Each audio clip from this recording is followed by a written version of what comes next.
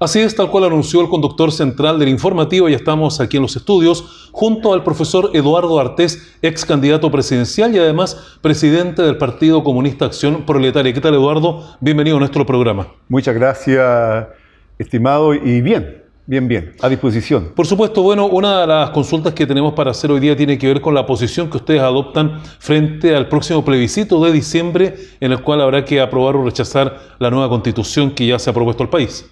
Así es, nosotros hemos optado claramente por el voto en contra. Y cuando decimos voto en contra, no es que estemos diciendo que la vieja constitución, la que está hoy día, ¿no? Eh, pueda satisfacer todas nuestras demandas o las demandas de solución de los problemas concretos en salud, educación, vivienda, etcétera, etcétera. No. Entonces no es que nos quedemos con la vieja, pero la nueva que se propone es peor, profundiza. Porque aquí el problema que existe en nuestro país es del modelo neoliberal. Y ambas son malas. Lo que sucede es que la propuesta nueva profundiza el modelo, es decir, lleva a centuplicar los problemas que tiene el pueblo para el diario vivir. ¿Qué áreas del modelo profundiza específicamente? Por ejemplo, educación. ¿Ya?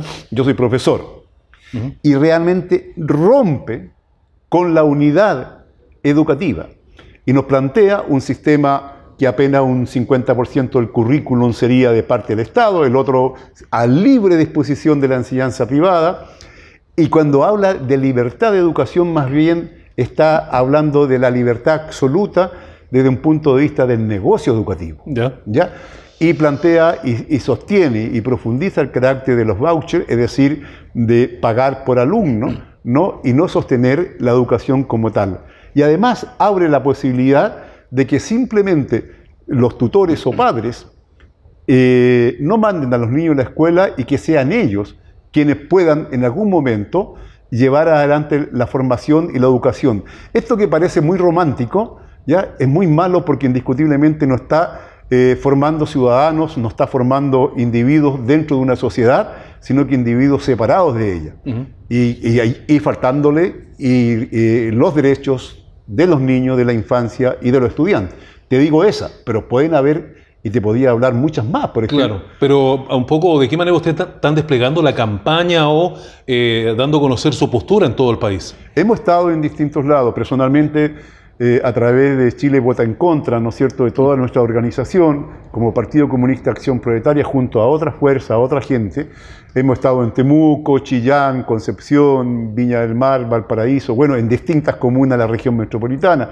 Hoy día aquí en San Antonio, ¿no? promoviendo el voto en contra, que seguramente va a ser mayoritario, pero nuestro voto en contra no es para dejar cerrado el proceso constituyente. O sea, ¿ustedes no están de acuerdo que el día 17 de diciembre esto se termine? No, porque indiscutiblemente que aquí lo que está planteado es avanzar hacia una nueva constitución que dé cuenta de un modelo social y económico distinto. ¿Y de qué manera se podría lograr eso si ya tenemos dos proyectos que eh, uno ya ha fracasado, el otro está por verse?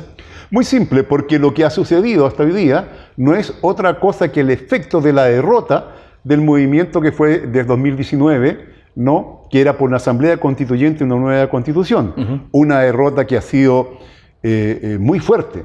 Pero sin embargo, las causas que llevaron a sostener la necesidad de una asamblea constituyente siguen vigentes y seguramente se van a expresar, de eso no hay que tener ninguna duda, en las nuevas movilizaciones sociales. Y desde ahí se va a instalar la necesidad de avanzar hacia una asamblea constituyente. ¿Se habían eh, demandas tan sentidas por la población? ¿Cómo se entiende la derrota posterior? Porque simplemente no hubo una dirección política, no fuimos capaces de lograr las fuerzas que estábamos manifestando, ¿no? Una dirección política para superar el modelo. Esa es la verdad. Pero yo creo que la experiencia es la gran ganancia que tenemos, el conocimiento, y nos va a permitir superarlo. Y en este sentido, volviendo al tema de la Constitución, hablamos del tema educacional. ¿Qué otros aspectos son los que ustedes hoy día cuestionan? Por ejemplo, en el área de, las pensiones, en la, eh, eh, de la salud, eh, le da carácter constitucional, institucional, ¿no? al manejo privado de estas. Y esto es gravísimo. ¿Por qué? Porque impide realmente solucionar los problemas de pensiones, ya que perpetúa, por ejemplo, el tema de la AFP, con el nombre que sea, pero el sistema el que se perpetúa. Hay que entender que las AFP no entregan pensiones en Chile, Ni una.